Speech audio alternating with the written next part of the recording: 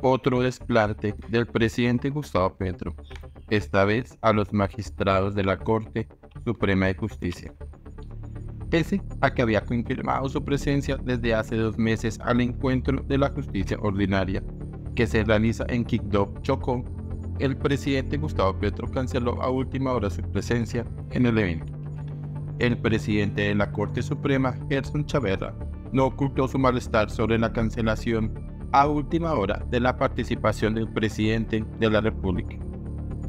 Había confirmado su asistencia al encuentro en las últimas conversaciones que tuvimos sobre el particular. Era un hecho que nos acompañaría, detalló el magistrado. Sin embargo, la misma presidencia les confirmó que el jefe de Estado había cancelado. Desconozco sus razones, aclaró el presidente del alto tribunal al señalar que la misma directora del Departamento Administrativo de la Presidencia, Laura Sarabia, le había confirmado la presencia del jefe de Estado. El magistrado Chávez aseguró que para este evento siempre se ha contado con la presencia y participación del presidente de la República. Este año se cursó invitación de manera oportuna. Fue confirmada la asistencia y esperábamos a contar con el primer mandatario en el marco de este evento en el que estamos debatiendo temas muy importantes, como los desafíos de la justicia en el marco del pluralismo,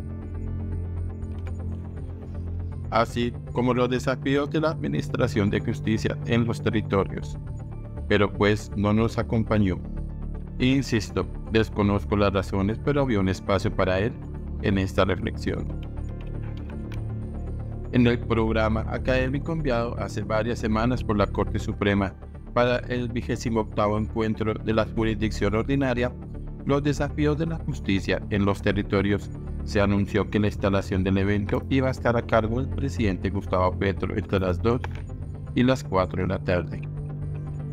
El jefe de Estado iba a estar con el presidente de la Corte Suprema Gerson Chavera Castro, la gobernadora de Checo Nubia Carolina Córdoba Curí y el alcalde de Quibdó, Rafael Andrés Bolaño Espino.